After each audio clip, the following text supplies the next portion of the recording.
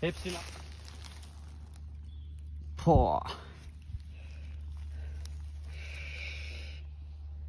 Oh, sapsarı duruyor. Wow, wow, wow. Wow. Bu ne ya? Kemer mi bu? Böyle. Açalım bunu. Aa bu da bir rozetmiş ya.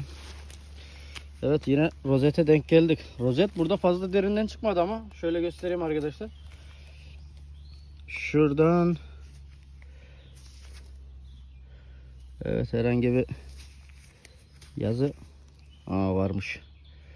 Var var var var var var. Burada bile yazılar var. Arkadaşlar yazı olanların değerleri oluyor. Bunu söyleyeyim buradan.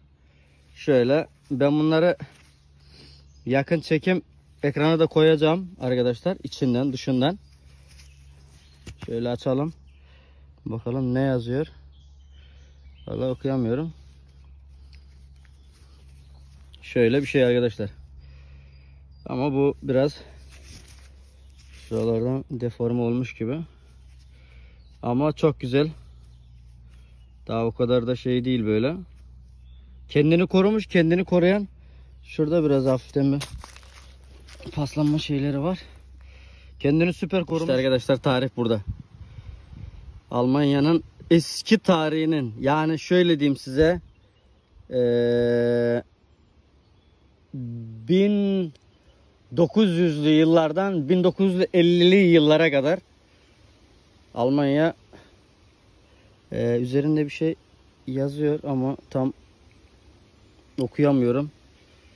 Evet arkadaşlar. Aşağısı böyle.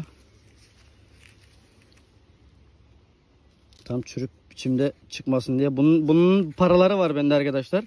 Ee, bazı kesimlerini gösteriyorum, bazı kesimlerini göstermiyorum bunun paralarının. Ya normalde şurayı böyle kapatıp göstermemiz lazım diye tabir ediyorlar Almanya'da ama benim yani pek de umurumda değil. Çünkü sonuçta bir tarih bu.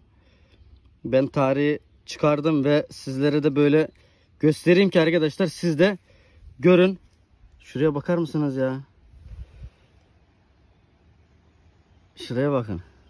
Ben bunları bulduğum zaman çok seviniyorum ya. Bilmiyorum nedense. Eski tarihi ben çok seviyorum arkadaşlar. Yani bakın arkadaşlar. İçini görüyor musunuz?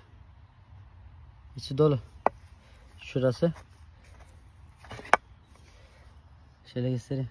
İçinde galiba para var arkadaşlar.